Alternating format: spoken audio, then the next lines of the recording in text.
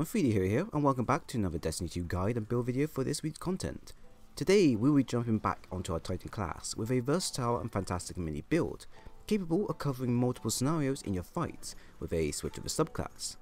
But the main eye candy of the build is the ability to get not just one, not two, but three instant fully charged minis at your helm, with the catch being you need to be charged by light.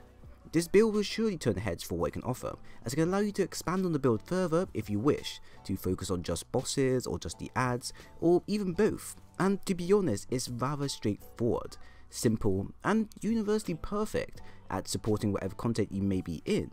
So you don't need to have some unique stats or mods or exotic etc. You just need a few things, and then you'll be ready to have what I would consider the most versatile mini build in game for this season. I expect the newer players to take note of this build, as will come in handy for harder endgame content and until you get better gear to work around from there. So, for the subclass of today's choice, we will be going with 3 this time, from the Code of the Aggressor, Code of the Earthshaker, and Code of the Fireforged. Now the reason we are going with 3 is to make full use of the Shoulder Charge slash Shield Bash ability, which will all link into our exotic MK44 Stand Aside boots, and with it, the other Season of Dawn mods, which will enhance the build further. Now, there isn't a go-to subclass to pick out the three, as they all play the same, but each one offers something unique that the others don't. For example, Code of Aggressor offers In the Trenches and Superior Arsenal, where In the Trenches give back a decent chunk of super if you're surrounded, and Superior Arsenal offers back grenade energy upon grenade kills, whilst Code of Earthshaker offers Magnitude and Aftershock, where Magnitude gives you another grenade, and Aftershock recharges your grenade upon you using your shoulder charge. Each subclass when tinkered with can benefit the user for a certain bit of content or create an entirely new combo for large DPS or crucible shenanigans. Whichever one you pick, just make sure the subclass chosen is suited for the content you're playing. So if I'm playing the Menagerie or the Nightfall this week, I would choose something like the Code of the Fireforge to make use of the Hammer Strike ability to help with taking down the majors, ultras or bosses. Or if I'm playing more of Gambit and the Sundial, I'll take out ads much more quicker if I use Code the Aggressor or Code the Earthshaker, which is more preferably my choice to pick next. At the end of the day, you can pick and choose whatever suits you, which makes the build so fantastic for the little things in game. For your grenades, there isn't no good or bad choices to pick here, as like I said earlier, you're free to choose whatever playstyle you want with the three selected subclasses. The AoE blasting grenades are your best choice for universal damage and coverage, while the suppressors, incendiary and flashbangs are better off used in PvP, or in a piece of content where you have waves upon waves of ads that can't be dispatched easily with just a singular grenade. Now for the weapons, I've chosen to go with close range weaponry that will fit into the melee build, but also have them masterwork so I can get the orbs of light produced from them and then use the charge by light mechanic to create a triple melee setup. For the primary slot, I've gone with the Perfect Paradox shotgun with 1-2 punch and demolitionist perk. This roll is what many will say is a god roll to farm for endgame content, for what it's worth, and how incredibly good the perks are on their own or when tied into a build. If you have seen my Peregrine Greaves build, I talked about how with my Peregrine Greaves airborne damage and 1-2 punch combined will allow you to pull off some nasty numbers when against bosses or ultras, and can allow you to take around one third of a Gambit boss health if everyone in your team works together to do so. In this case here, that's exactly where the shotgun will come in handy, as if I'm playing in Gambit and using my 5 4 subclass for the Hammer Strike ability, then I can pull off the near same damage as my other build, but the twist here being that I've swapped the Peregrine Greaves for the MK44 Stand Asides, and for triple shoulder charges for more faster DPS and debuff. With Demolitionist, pairing this perk with Code of the Aggressor or Code of the Earthshaker, which both of them support highly on using your grenades, can allow us to increase DPS via ultras or bosses, whilst having the 1-2 punch perk active as well. Overall, you've increased your DPS from multiple angles with no weaknesses, except for needing to get up close and personal. For the secondary, I've gone with a much more fast and reliable SMG that everyone is commonly aware of, and most likely have at this point, which is the Recluse. After this nerf, its effectiveness in PvE hasn't dropped at all, as it's still the number one SMG in terms of DPS once its perk kicks in. I've gone with it for its simplicity and its perk activation usage, with you not needing to do a lot for activating it, which is handy if you get in a rough situation and need some extra boost of damage before you die. Now, not everyone may have got this weapon, which I recommend you go ahead and try to get as it's very easy to get over this season and can be easily achieved with a few games every now and then, but for those that don't want to get it or genuinely can't get it at all, Alternatively, you can always try the Calus Mini tool,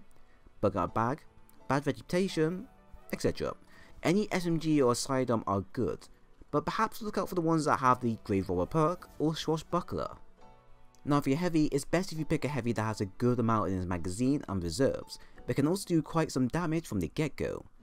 Heavy machine guns or grenades are effective for ad clearing and boss DPS, and with the mods can allow you to extend your magazine size more if you need be. For me, I've gone with a sword, specifically the Stryker's Sure-Hand to make use of the Surrounded perk for its 40% damage increase when surrounded, and just how nimble swords are at the moment. With my sword I can get kills relatively quickly from a light attack, and upon 2 kills can trigger a orb of light to drop, but only if you have a Masterwork version available. That and some of the perks that come available with the sword, which allow me to do either heavy attacks or light attacks very quickly for me to get sword ammo back, basically means that I'll never have to worry about running out of ammo in general compared to using a grenade launcher.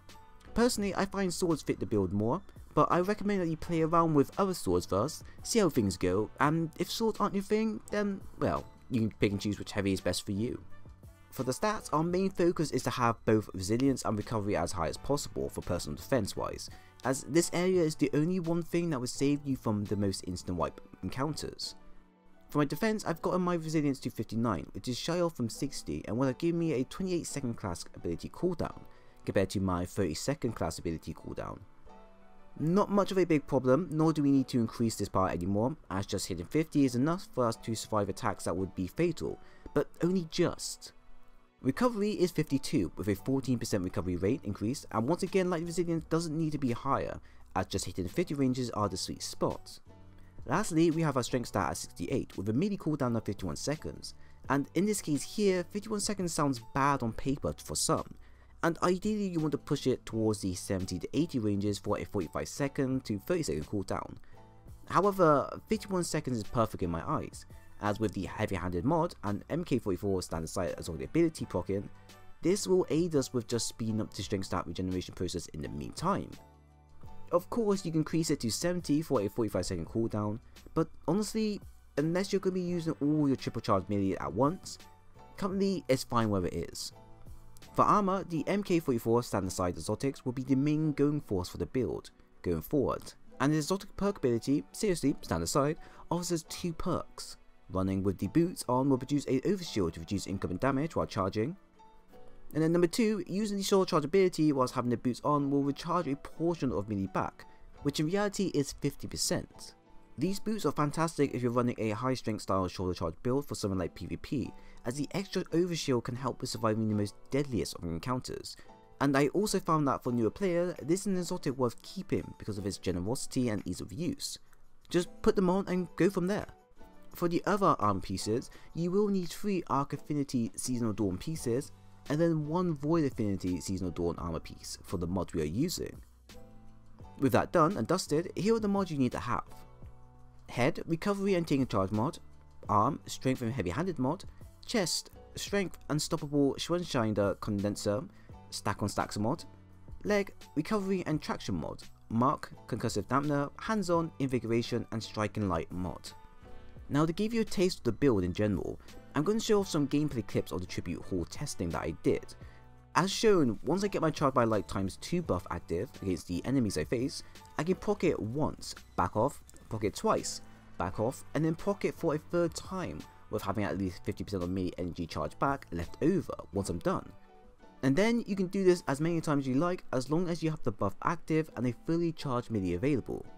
To further support the build and enhance the setup, I've also added on some universal mods for the passive nature, such as the hands-on mod for bonus super energy or melee kills, which works well if I'm using the Code Aggressor and In the Trenches perk, where I can get back a big fat juicy amount of super energy returned. Next we then have Invigoration for reducing my melee cooldown, and this is more handy if I'm in a pinch because I've used up all my charged melee and need to get it back up and running again. I believe it provides at least a 20% melee energy back, so with that 50% melee charge returned to me,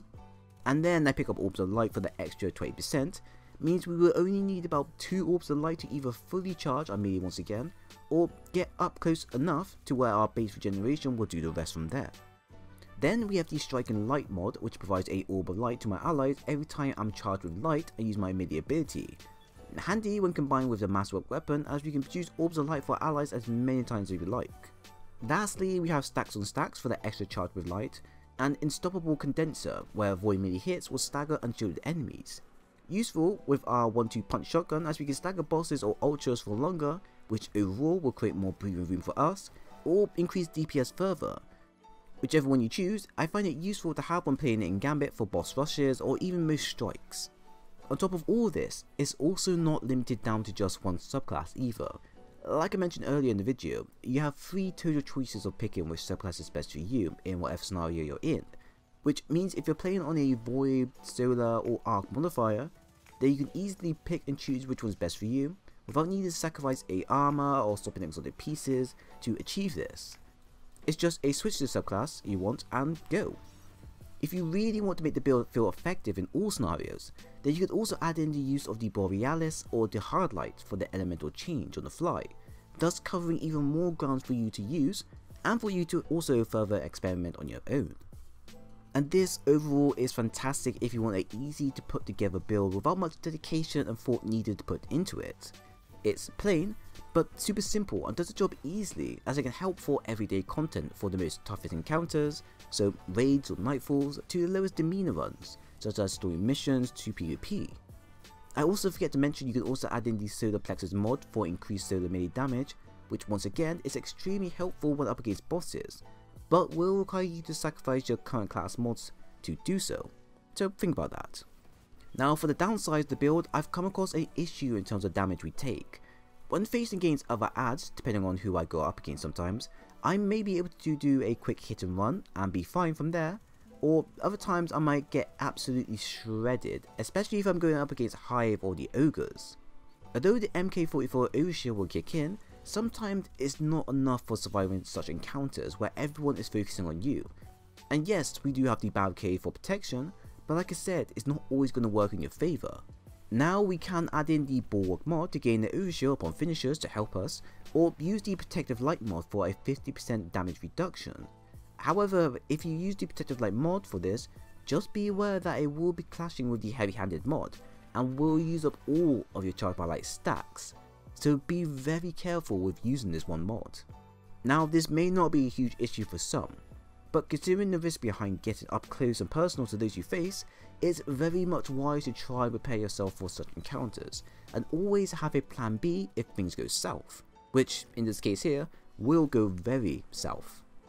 Overall you now have one of the most flexiblest Titan builds in game for all content and scenarios. Doesn't require a lot for the user to do on their end, but with this building set, whether you're a new or veteran player, you'll always be prepared for whatever content you face, and hopefully this build here will carry a lot of players to endgame until they feel a bit more comfortable to go out and hunt for the gear that they rightfully want. So if you enjoyed the video, then by all means please leave a like and a sub, and also follow me on Twitter to keep up to date with Destiny content if you dig that type of stuff, link is always down below. But once again, thanks for stopping by, and I'll see you guys in the next one.